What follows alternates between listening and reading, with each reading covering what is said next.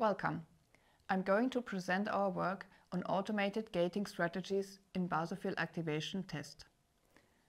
Bühlmann's Flow CAST is a highly standardized basophil activation test that can be used in allergy diagnosis. However, in its current form, it relies on manual data analysis of the data acquired at the flow cytometer.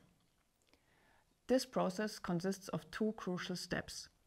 First, identifying the basophils based on the CCR3 versus the side scatter signal, and second, defining the threshold between non-activated and activated basophils based on the CD63 signal. While the latter can be very challenging for a human, it is only one line of code at a computer. However, the first part is computationally more challenging.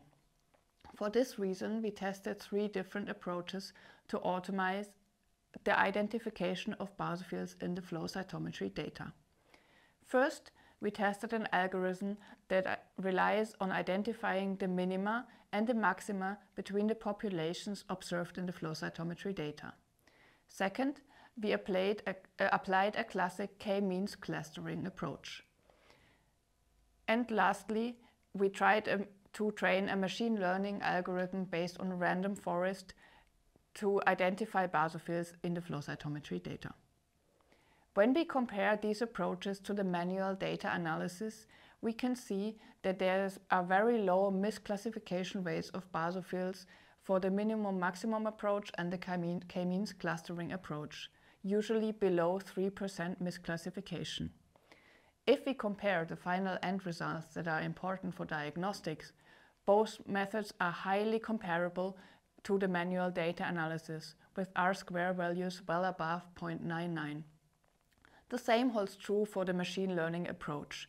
It shows a slight bias towards false positive identification of basophils, but also here the end result between the automated and the manual data analysis is highly comparable with an R-square above 0.99.